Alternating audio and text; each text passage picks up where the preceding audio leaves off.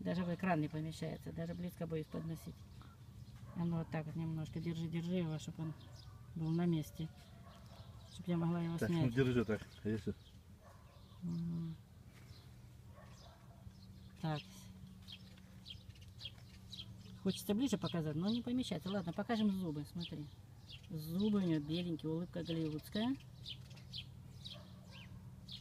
Зубов много. И все здоровы. Стоматолог не нужен.